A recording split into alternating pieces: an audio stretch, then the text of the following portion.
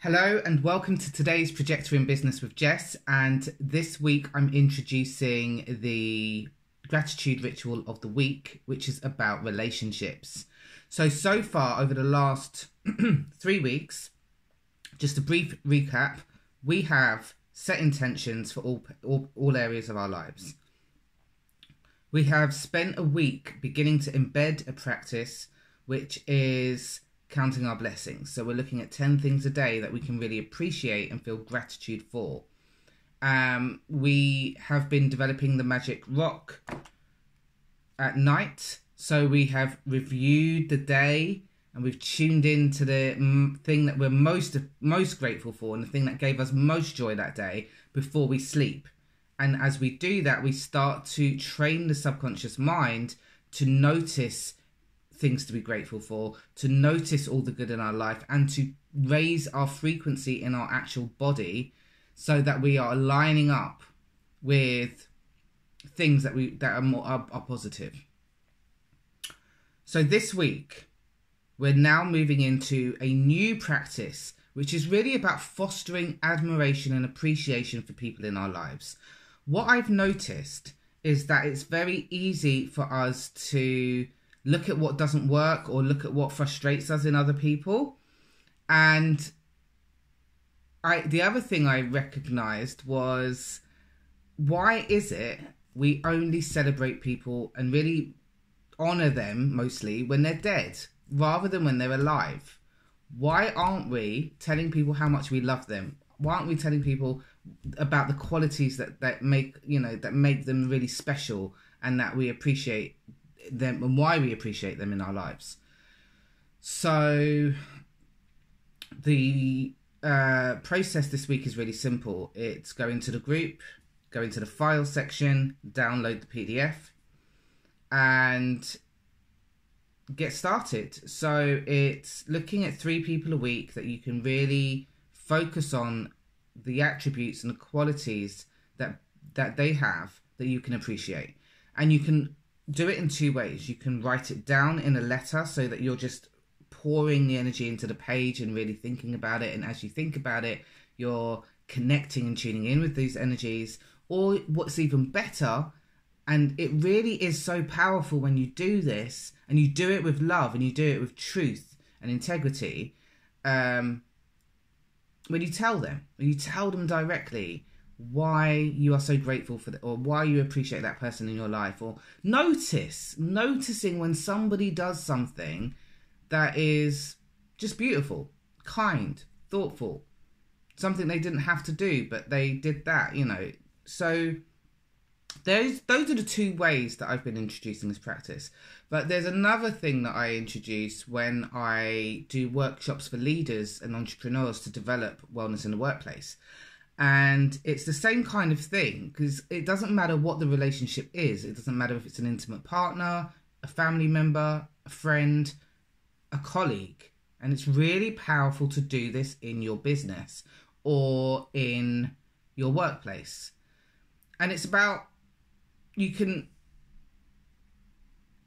tune in and meditate. There's because this is the third way of doing it that i haven't spoken about in the group but you can actually just take some time to really close your eyes, get grounded, tune into the body, drop into the heart space. And as you do that, you can start to review and bring up a conversation, a circumstance or situation that you've had with that person, what they said, what they looked like, their facial expressions, the way you felt, you know, um, and bring it all up. And as you bring it up, your mind, as you know, your subconscious doesn't know the difference between reality and uh, memory. That's why so often we're jumping into situations from bringing energy from a past memory to a present situation moment that has no connection.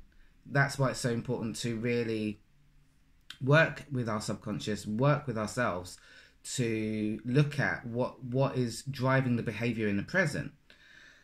But anyway, that's a side note so coming back, when you tune in and come up with three characteristics that you admire about a colleague or a friend or a family member or a lover, um, you might, for example, notice that they are solutions focused, that they're honest, um, generous, and take a moment to think about what they were doing when they said it, how they were feeling, how what you were feeling, and as a result, you start to tune into the energy of deep appreciation, deep gratitude, and you're bringing and anchoring yourself into the present moment with those feelings.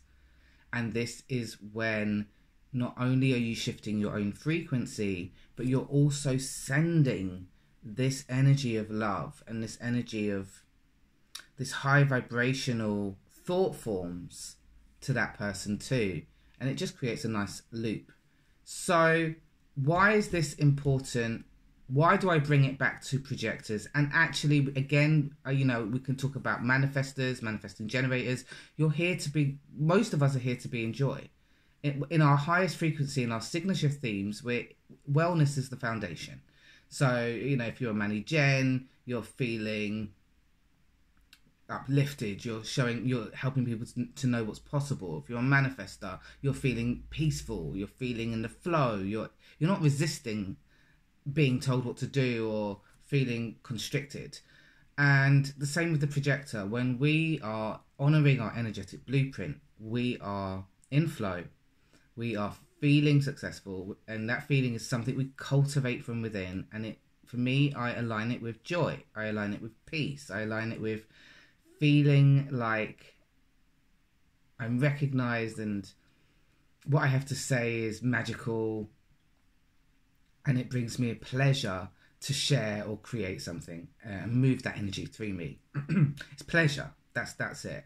And it's not to say that we don't feel, you know, if you're an emotionally defined um, person, you're going to have your waves and that's okay. There's no it's not about labeling. Everything's neutral emotions are neutral. But what i'm saying is that we can actually influence the energy field and what we are allowing into our lives and what we are aligning with in our lives through the power of our thoughts our emotional states having mastery of these areas and it, it, changes everything because I before I had my own awakening I was being I was being dragged around by the world and being reactive by the mind and angry about politics, angry about the education system, drawn into fights that weren't mine, like always reacting, reacting, reacting until I took back my power and I became centered, I became present. I decided that I wanted to be optimistic and look for the beauty in the in life, and that was more aligned with my actual truth. It was before I read about the mind mindset. It was before I learned about uh, affecting my attitude. Before I learned all of the, all of the things, and it's just literally universal laws. Like we're here to actually learn to master the plane of opposites. And how do we do that? We do that by understanding our energy. We un- we do that by mastering our uh, effect, how our emotions work and what the guidance tells us. We do that by exploring our thoughts and tuning into our feelings and mastering a, the way that we feel so that we can make decisions that align us with the desires and the aspirations that we have for our pathways. And I guess, you know, I'm speaking to awakened people you're here to be a frequency master. And this is one of the ways that you can do it. Okay, so thank you for watching. I would love it if you came into the Mindset Alchemy community for soulpreneurs, um, creating lives and businesses by design, to come and engage with the community, to come and ask questions, to be there when I start leading my masterclasses, which will be coming up in the next few months. Um, and just to connect, collaborate, and create. That's what it's about. So, come into the group. It's a free community. Um, you will have access to really high quality resources to help you align, to create, to collaborate with others, and to um, build what you're building on this on this in this plane and do what you're doing in a very high frequency way. Um, sending you so much love and I hope to see you in the group. Bye.